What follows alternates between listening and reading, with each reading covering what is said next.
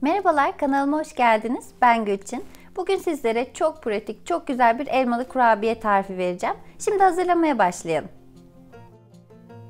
Öncelikle bir kaba 2 adet yumurta ve oda ısısındaki 100 gram tereyağını alıyoruz ve güzelce karıştırıyoruz.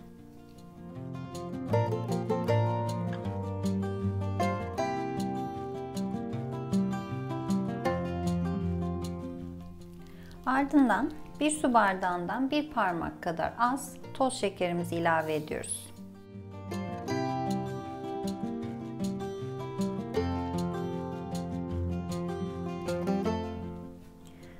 Daha sonra bir çay kaşığı tarçını ilave ediyorum.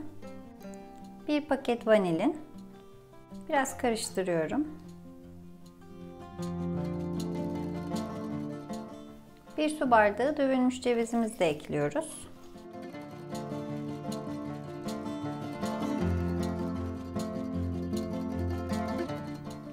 Üzerine 3 su bardağı unumu yavaş yavaş karıştırmaya devam ederek ekliyorum.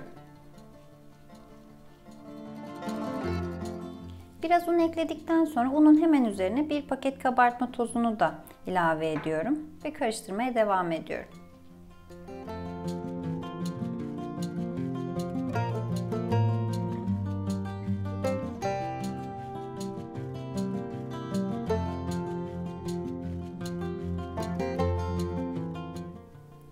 Size hamurun kıvamını da göstereyim. Gördüğünüz gibi yumuşak ama ele yapışmayan bir hamur elde ettim. Hamurunuzda ceviz e, az atarsanız ya da hiç atmazsanız hamurunuzun kıvamı daha cıvık olacaktır. Daha fazla un eklemesi yapmayın. Eğer şekillendirmekte zorlanırsanız da kaşıkla tepsiye dizip öyle pişirebilirsiniz. Son olarak da üzerine 4 adet orta boy küp küp doğradığım tatlı elmalarımı ekliyorum. Elmaları çok fazla ezmeden şöyle kibarca karıştırıyorum.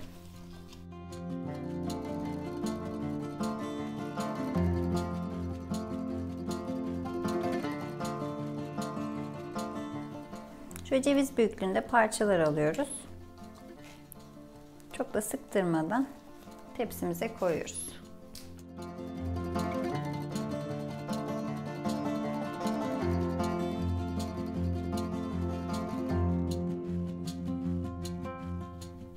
Benim ölçülerimle 25 adet kurabiye çıktı.